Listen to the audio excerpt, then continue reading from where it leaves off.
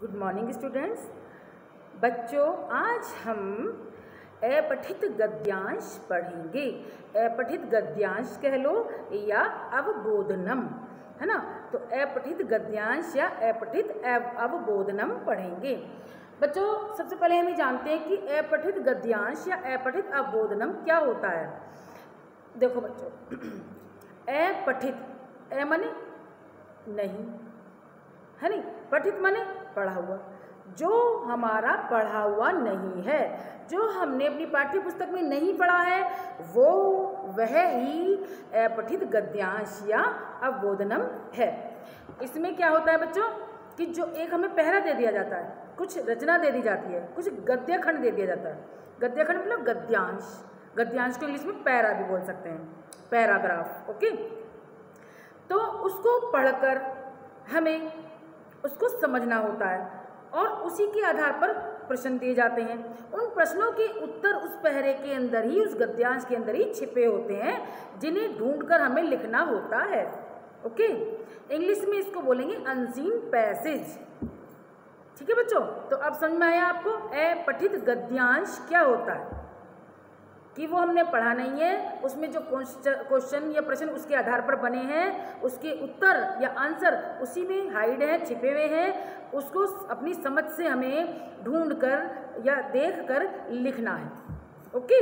इस अच्छा बच्चों, ये सोचें कि इसका, ये किस उद्देश्य से, क्यों अपठित गद्यांश सिलेबस में रखा गया है या रखा जाता है? क्यों है? क्यों हमें ये अपठित गद्यांश करना है? क्यों? क्योंकि इससे हमारी समझ देखी जाती है कि हमारा बोध, हमारी बुद्धि, हमारी समझ कितनी चल रही है, किस लेवल पे आ गई है। क्योंकि हम हम उसको पढ़ के समझेंगे, तभी हम उसके प्रश्नों के उत्तर दे पाएँगे। हमारी समझ ने काम किया। तो ये अपठित गद्यांश या अपठित अबोधनम आप लोगों की या किसी की भी, बच्चों की, जो भी पढ़ रहा है, उसकी समझ को परखने के लिए, उसकी समझ को देखने के लिए दिए जाते हैं। समझ गए कि क्यों ये सिलेबस में होते हैं या क्यों इनकी रचना की जाती है? ओके? तो अब बच्चों, अपठित गद्यांश में भी वही है जो सार लेखन में था। सार में वो ये कि मेन मेन बातें, जो ये बात कही जा रही है, जो भाव कहा जा रहा है, जो अर्थ दिया जा रहा है, महत्वपूर्ण सेंट्रल जो बात कही जा रही है, जो सब है, उस को पढ़ पढ़ के, एक बार, दो बार पढ़ के हमें समझना है, फिर उसके आंसर देने हैं, उत्तर देने हैं। यही अपठित अपठित अवबोधनम या गद्यांश होता है।